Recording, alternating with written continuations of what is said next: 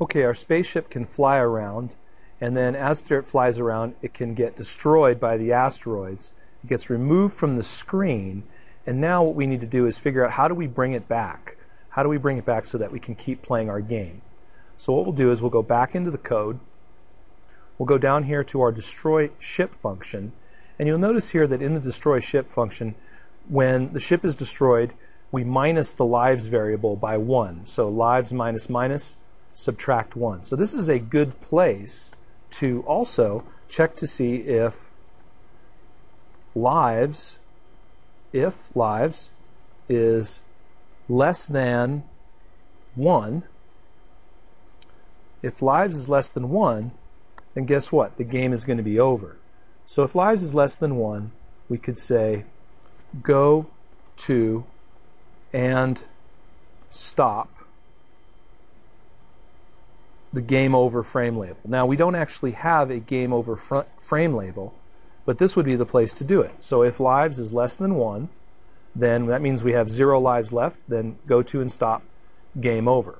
Also, take MC lives and go to and stop on the none label. So if lives is less than one, go to and stop game over. Take the MC lives, our extra lives movie clip, and make it go to and stop the none frame label so that we have no lives left. Else, the game is still going on. And if the game is still going on, we'll do something else. Namely, we will restore the spaceship to the screen. Now to do this, well, we can do it with a set interval function, which will call a function that will restore the spaceship after a certain amount of time. Now we can't do the set interval directly. We have to do it indirectly by putting it into a variable. So we'll make a variable called restore ID. So I've got a variable here, and actually I'll just use lowercase here. Restore ID, and we'll set it equal to the set interval command. So else restore ID, capital I, capital D, equals set interval command. And inside the set interval command, we're going to give it a function that we want it to call. So we'll make a function called restore ship. We don't already have that function, so we'll have to make it.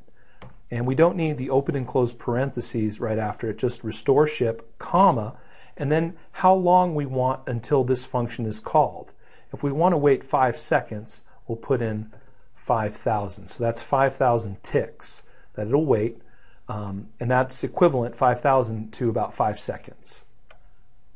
So now, if lives is less than one, game is over. We go to the game over frame. We take our extra frames, set them to none. Else, we call this restore ID which will set an interval and call a function in five seconds. So now what we need to do is write that function. So here it is. Function restore ship. Open and close parentheses, open curly brace, and a close curly brace. So in this function, what we'll do, it's actually pretty simple. We'll say ship init. And ship init is our ship init function that we've already written which initialized the spaceship. If you remember up here, let's see, we have it here somewhere. Ship init will attach the ship movie clip from the library, give it a new name, set it to the center of the screen, set velocity x and velocity y, give it an on enter frame handler, which runs our controls, and then set the rotate and thrust. So that's what we do right there. We say so we'll run the ship init function, and then we'll set the ship dead variable equal to false because now the ship is back in business. Once we've run the ship init function, set the ship dead variable back to false because the ship's alive now, then we want to also clear the interval that we set. Otherwise, it's going to keep going off every five seconds. So we clear the interval and then pass it which interval we want to clear. And that was restore ID. Remember capital I, capital D, and that will clear that interval. So let's see if it works. So we hit Control Enter. There's our ship. Our ship explodes. One, two, three, four, five. And there's the new ship. All right, and then we do it again. The ship explodes. Notice we only have one life left now. And there's the new ship. And now we should have no lives left and so we shouldn't see the ship restore. And if we had a game over uh, keyframe, right, if we had a, a keyframe for game over, we'd be going there right now. Now, a couple other things that I want to point out, and that is, is once the game is over, we want to do a few other things. We want to make sure that if the game is over, that we stop running all functions. So if lives is less than one, go to and stop game over. But also what we want to do is make sure that we delete the asteroid underscore MC dot on enter frame handler. So we can delete the asteroids on enter frame handler and we can delete ship underscore MC dot on enter frame. So we can stop both of those. So if that works, then once we've died three times, we should see all of the asteroids stop moving because we're no longer calling the on-enter frame handler 65 frames per second. Now, if that happens, we probably also want to, if we're going to stop all the asteroids from flying around once the game is over, we probably also want to remove them from the screen. And we can do that by using a for loop. So here's the structure of a for loop. And what we could do is we can loop through all of the asteroids and then remove each one of them from the screen.